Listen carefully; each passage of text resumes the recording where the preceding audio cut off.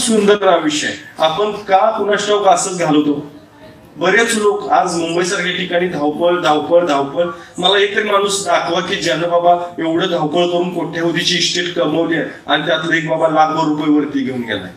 एक रुपयावरती घेऊन गेलाय. लक्षात घ्या पैसा माणसाला वर घेऊ शकतो पण माणूस पैसा वर घेऊन जाऊ शकत नाही.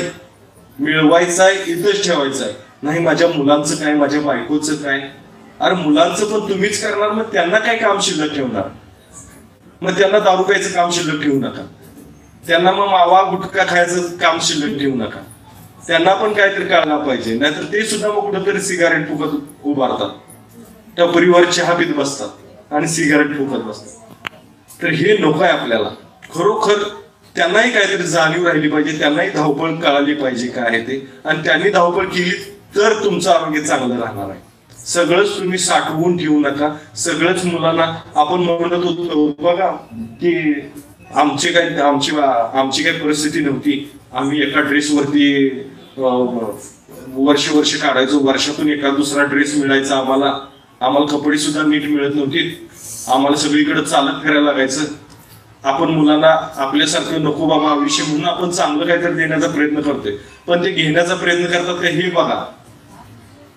नाहीतर तुम्ही देऊन काय उपयोगाचं नाही ते जर घेत नसतील. चांगलं दिलं पाहिजे चांगलं घेतलं पाहिजे ते. आपली परिस्थिती आम्हाला जे दिवस होते ती मुलांना नको म्हणून आपण त्यांना सुखसुविधा उपलब्ध करून देतो. पण लक्षात घ्या आपल्याकडे ते दिवस होते म्हणून आपण हातपाय मारून आपण धडपड करून काहीतरी कमवलंय. त्यांना जर चांगलेच दिवस असतील तर ते काय करणार आहेत? मग ते काही करणार नाही. आणि खरंच सांगतो खूप खूप आयुष्य वेगळं आहे. आणि आज आपण चाललोय वेगळ्या दिशेला. पूर्वी संस्कार असायचे संस्कृती असायची. आज संस्कार कुणी पाळत नाहीत संस्कृती तरी आपली कुठे गेली माहीत नाही. बाहेरच्या देशातून लोक आपल्या इथं संस्कृतीचा अभ्यास करायला येतात. त्याचाही आपल्या आरोग्याशी फार मोठा संबंध आहे. आज बाहेरच्या देशातून लोक येतात माझ्याकडे ट्रीटमेंटसाठी बाहेरच्या देशातून. पण आपल्या देशातल्या लोकांना इथल्या इथं मी सांगत असून सुद्धा खूप लोक करत नाही.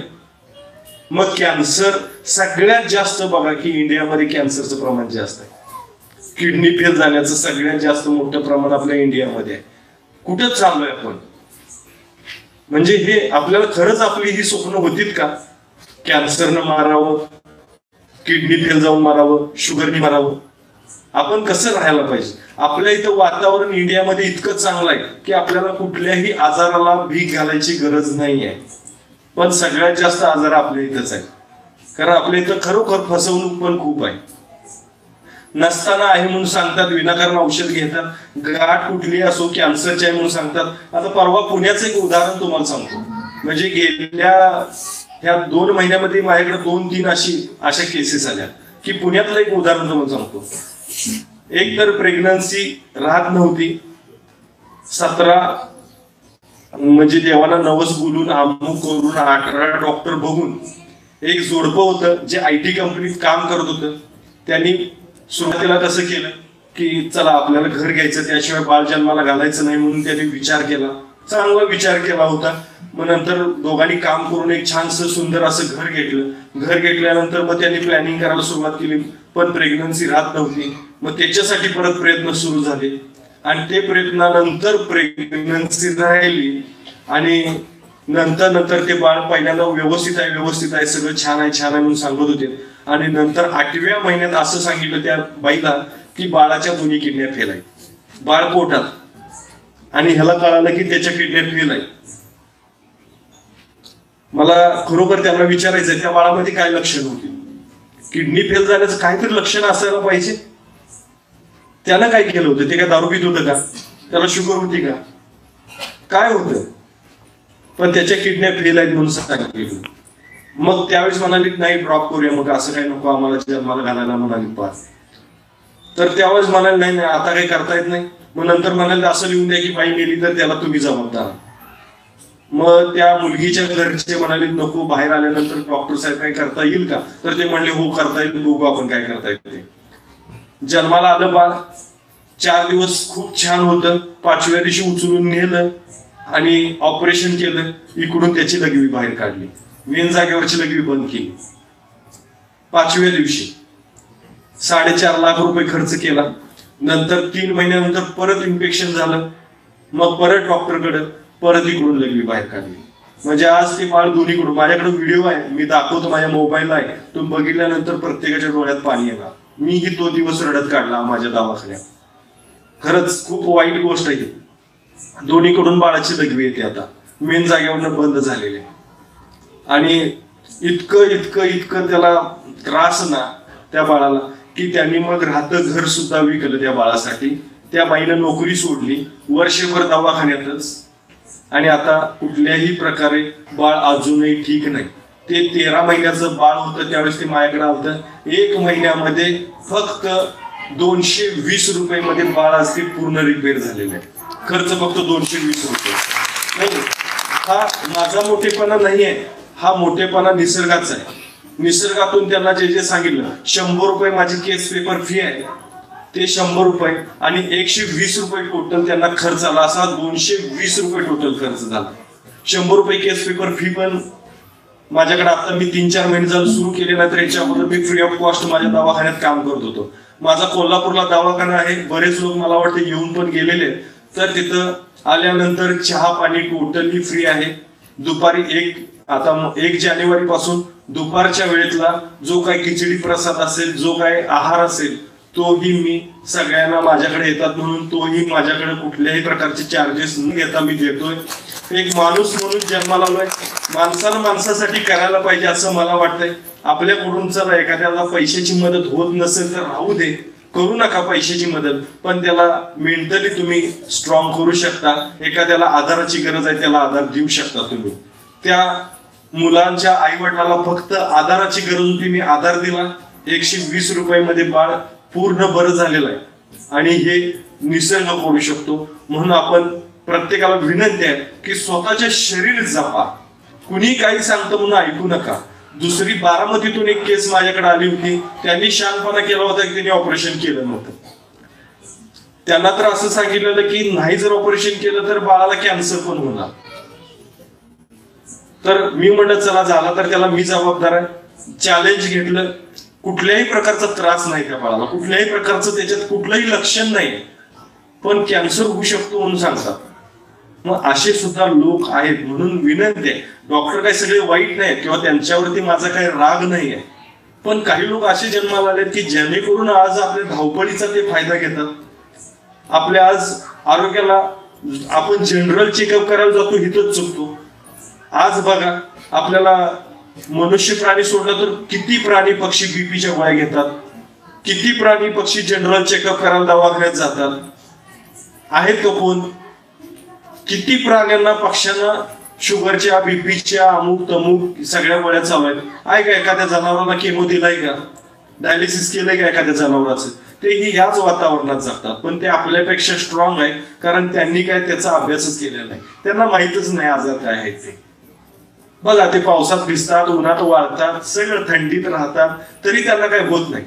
आम्ही मात्र आलिशान घरात राहून आजार वाढवायला लागलो कारण आपण आराम वाढवला. आराम वाढवू नका. आराम हराम आहे हे लक्षात ठेवायचं. थोडस थोडस तुम्ही बाहेर या. थोडस आळस घालवा. सगळ्यात मोठा आजार आहे ते आज आळस. आणि दुसरा आजार आहे तो भीती. आळस आणि भीती घालवा. तुम्हाला काय झालं? तर मी जबाबदार आहे. एवढ्या सगळ्या लोकांच्या समोर सांगतो. खरोखर करून बघा. आणि घरचे इलाज आपल्याला फार चांगले आहे पूर्वी बघा बायका कसं आहे मुली वयात येताना पैंजण वापरायच्या. हार्मोन्स इनबॅलेन्स होत असतात. त्यावेळेस मुलींना त्रास व्हायचा नाही. हल्ली मुली पैंजण वापरत नाही. कुठल्याही प्रकारे त्यामुळे त्याला हार्मोन्स इनबॅलेन्स होत असताना आपल्याला असं वाटतं बघा आपलीच मुलगी आपल्याला ऐकत नाही. ऐकतात का? अजिबात नाही. हे करू नको म्हटलं तर ते जास्तच करणार. अशा सुद्धा मुली मग होतात. तर म्हणून सांगतो पैंजण वापरायला पाहिजे. लग्नामध्ये बघा एक तुम्हाला आठवत असेल पूर्वी कसं असेल सगळे काळी असायचे एकच सोन्याचं ते मला वाटतं दोन वाटी म्हणतात ना काय म्हणतात त्याला? काय म्हणायचं? डोरलं हा. तर ते डोरलं इथंच बरोबर सोन्याचं ते चिटकवलेलं असायचं. ह्याचं कारण माहिती आहे का तुम्हाला? इथं जर सोन्याचा एक जरी दागिना तुम्हाला स्पर्श करत असेल तर आयुष्यात तुम्हाला थायरॉइड होऊ शकत नाही. वजन वाढू शकत नाही. म्हणून ते असायचं? मी पण टच केला दिसतंय नाही तर? बरोबर. हे करायला पाहिजे. का पाळू नाही आपण? एक छोटा मी म्हणतो चला राहू दे मोठा. छोटा आपण घालू शकतो ना. ते टीव्हीतलं बघून वाढवत चाललोय आपण. पण आजार वाढवत चाललोय त्याच्या बरोबर झालंच तर लग्नामध्ये बघा लग्नात मान असायचा जोडवी असायची. हल्ली जोडवी म्हणजे काय कळतच नाही तार गुंडळण्यासारखं असते. पूर्वी जाड जोडवी असायची. जेवढी जोडवी जाड तेवढी कंबर बारीक. पूर्वीच्या बायका बघा. असायचं काय? पोट असायचं काय? आता पुरुष आणि बाई माफ करा पण कळतच नाही. मुलांना तुम्ही दूध पाजता की नाही? ते देतात बघा हल्ली रबरच रबर तोंडात देतात. प्लास्टिक तोंडात देतात. बरोबर आहे की नाही? देऊ नका विनंती आहे. त्यांना बाळाचं पुढचं आरोग्य पुढचं आयुष्य धोक्यात येते एक चांदीची वाटीन चांदीचा चमचा घ्या. त्यानं दूध पाजा. आयुष्यात छाती भरणार नाही. आयुष्यात त्याला संधिवात होणार नाही. आयुष्यात गुडघेदुखी कंबरदुखी होणार नाही. करतो का आपण? चांदीची वाटी चांदीचा चमचा. किती लाख वाजतात त्याला? करू शकतो. मुलाला बाईक घेण्यापेक्षा तरी स्वस्तात आहे ना ते.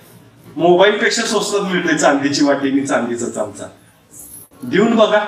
वीस वीस पंचवीस हजार पन्नास हजार फोन असतात एवढ्याचे. त्याच्यापेक्षा नक्कीच कमी चांदी वाटी आणि चांदीचा चमचा. त्यानं दूध पाजा. छाती भरणार नाही आजारी पडणार नाही बाळ. जरी समजा त्यातून छाती भरली तर अर्धा चमचा मोहरी ठेचायची लहान बाळ असेल तर वर्षाच्या आत असेल तर. तर लहान बाळ असेल अर्धा चमचा मोहरी ठेचायची त्याच्यात एक दोन थेंब मध घालायचा आणि त्याचा वास द्यायचा. दहा मिनिटात छाती रिकामी होते. फक्त वास द्यायचा खायला द्यायचं नाही. वयस्कर लोक आहेत खूप वय आहे. त्यांना सुद्धा हा इलाज करा. त्यांना जर समजा कप होत असेल सारखं खोकत असतील तर अर्धा चमचा मोहरी ठेचून त्याच्यात एक दोन थेंब मध घालायचं त्याचा वास द्यायचा. ऑटोमॅटिक ठीक होतात करून बघा या गोष्टी. खूप छान आहे आपलं आरोग्य. आपली जरी छाती भरत असेल कांद्याचा रस काढायचा चार पाच चमचे प्यायचा त्याच्यावर गरम पाणी प्यायचं. एका दिवसात कप गायब. खोकला होतोय. सुंट पावडर आणि दालचिनी पावडर एक एक चमचा घेऊन तीन कप पाण्यात टाकायची आठवून एक कप करायचं. अर्धा चमचा सकाळी आणि अर्धा चमचा संध्याकाळी घ्यायचं. सर्दी खोकला ताप गायब. करून बघा. अंगदुखीचा त्रास आहे. धावपळ करतो दिवसभर खूप अंग दुखतंय. खूप त्रास होतोय. किंवा एरवी असंच ताप आलाय. दूध घ्यायचं वाटीभर अर्धा चमचा हळद घालायची थोडीशी साखर घालायची चवीनुसार हे कडक उकळवायचं गाळून घ्यायचं प्यायचं झोपून टाकायचं. अर्ध्या तासामध्ये ताप गायब. परत येणार नाही. करून बघा या गोष्टी. किती साधं साधं आपण इलाज करू शकतो. घरी मिळतंय ना? दूध मिळतंय आपल्याला हळद पावडर मिळते की नाही घरी? असते की नाही? नसते का? नाही कोण बोलत नाही. एवढं गंभीर होऊ नका मलाही कसं तरी वाटतंय. नाहीतर हसत खेळत गेलेली म्हणणारे एवढं गंभीर होऊन ह्याच तोंड गंभीर आहे. तर असं नाही.